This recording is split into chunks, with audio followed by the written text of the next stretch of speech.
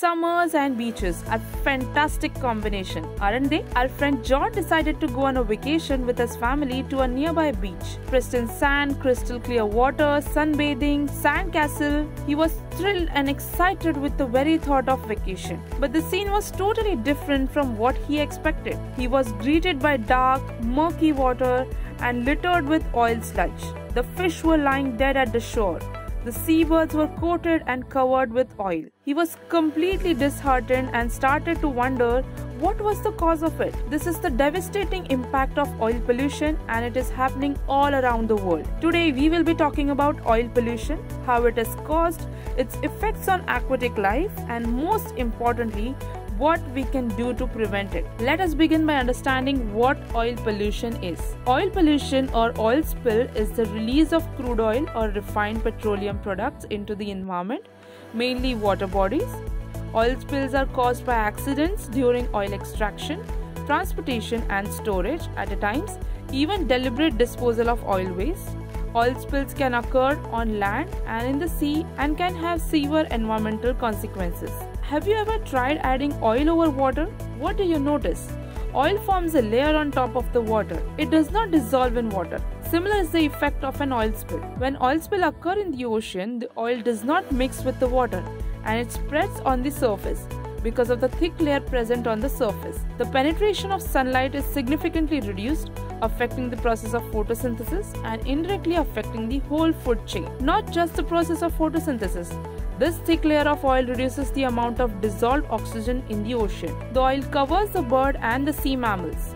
Spilled oil can harm living things because its chemical constituents are poisonous. This can affect organisms both from internal and external exposure. Oil can also smother some small species of fish or invertebrates and coat feathers and fur reducing birds and mammals' ability to maintain their body temperatures. During most oil spills, seabirds are harmed and killed in greater numbers than other kinds of creatures.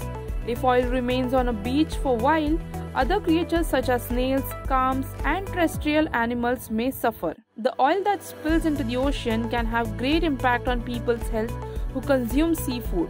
One of the most significant oil spills in history was the Deepwater Horizon oil spill in 2010. The oil spill happened in the Gulf of Mexico and caused severe damage to the marine environment and the local fishing industry. The spill released over 210 million gallons of oil into the ocean and killed thousands of marine animals, including dolphins, turtles, and fish.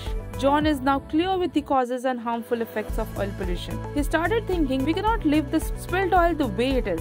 Something needs to be done to clear this up. Yes, this oil spills have to be cleaned up and this is not any easy task my friends. Cleaning up oil spills can be a complex and challenging process, but there are several techniques and strategies that can be used to minimize the environmental impact. Let us now look at some of the common methods used for cleaning up oil spills. Containment as the name suggests, this technique aims to contain the oil in that specific area and prevent it from spreading further. Floating booms and barriers are placed around the spill site or strategies placed to divert the oil to a collection area. Another method is skimming. This method involves using specialized equipment such as skimmers or vacuum trucks to remove the oil from the surface of the water. The equipment can collect the oil and transfer into storage tanks or tankers for proper disposal. The next one in in situ burning. This method involves burning the oil on the water surface in a controlled manner to reduce the volume of oil and prevent it from spreading. This method is only used when the weather condition and spill characteristics are suitable. Bioremediation. This method involves using natural microorganisms to break down the oil into harmless substances. This method is only effective in certain conditions and may take longer to complete. The specific method used for cleaning up an oil spill depends on several factors, including the type and volume of oil, weather conditions, and the location and sensitivity of the affected area. In most cases, a combination of methods is used to ensure effective and efficient cleanup, but there are several ways to prevent oil pollution. One way is to improve safety measures during oil extraction, transportation, and storage. Another ways to develop alternative energy sources that do not rely on fossil fuels. Proper disposal of oil waste is also important in preventing oil pollution. John is now completely aware of oil pollution and its harmful effects. He has decided to share this information to the rest of his friends. To help him in this task, we would want you all to come up with a catchy oil spill slogan and post it in the comment section below and share this video with your friends and family. If you found this video informative, do hit the thumbs up button. For more such environmental awareness videos, subscribe to our channel. Let's do it.